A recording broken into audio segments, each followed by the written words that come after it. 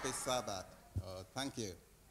Um, we have some little ones here. I want to tell a story to. I think um, the story that I'm going to tell you, I think you hear it over and over again. You know, it was a time when Jesus was with us.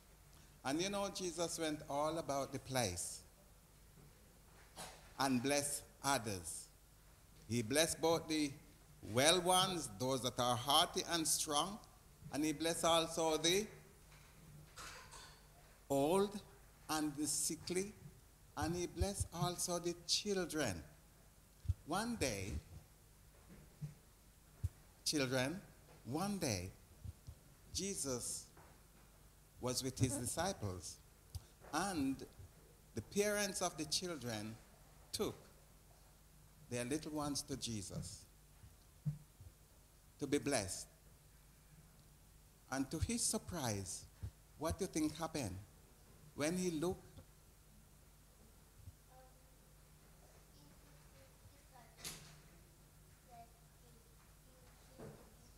Thank you. Thank you.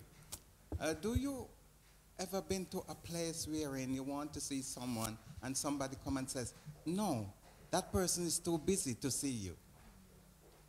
How would you feel? Sad. What about you? How would you feel? Upset. Upset. How would you feel? You don't know? Well, take the other two answer, okay? You would be sad and upset, wouldn't, wouldn't you? Yes, you would be sad and upset. And that particular day, the mothers and those who bring the little ones to Jesus, do you think they were upset? Yes. But guess, it was not just them alone was upset, but Jesus himself was displeased.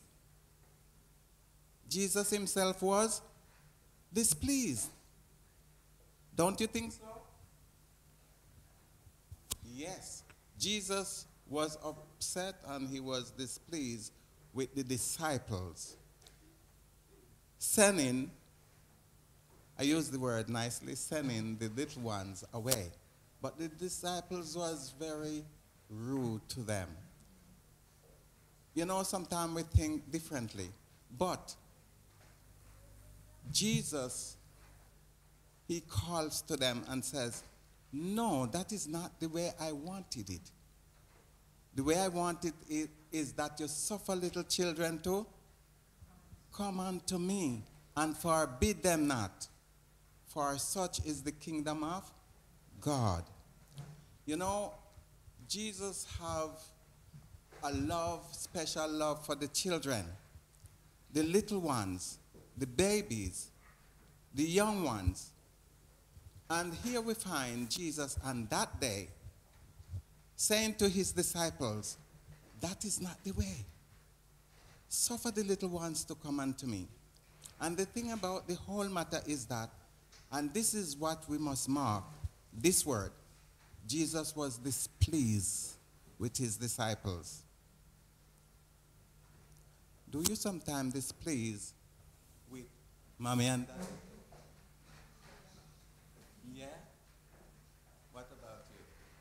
What about you? Yeah? Yeah. Sometimes, you know, mommy loves you, daddy loves you, but they have to see that you grow up all right, isn't it? And this was the job of Jesus that not only the adults, but he cares for the little ones, the lamb, the tender ones who need to be guided. Okay? So when the disciples sending them away, he was very displeased. And you have to speak to them in a special way. Not to allow their thoughts to go astray from their job. They're to suffer. They're to allow the little ones to come to Jesus. And this is why sometimes, you know, in the home and in church, you have special work for the little ones to do. To train them to love who? Jesus. And to serve him from youth until they grow up to be men and women. Now, Jesus, he loves you. Hello. Do Jesus love you? House. Eh? Does Jesus love you? Does Jesus love you? Yes. Yes. Jesus loves each and every one of us. And we have to love Jesus because of the great work that he has done for us. Okay? And when mommy and daddy speak to you in the home and in church service, you're going to obey. For Jesus wants both mommy and daddy and the little ones to obey him. Okay?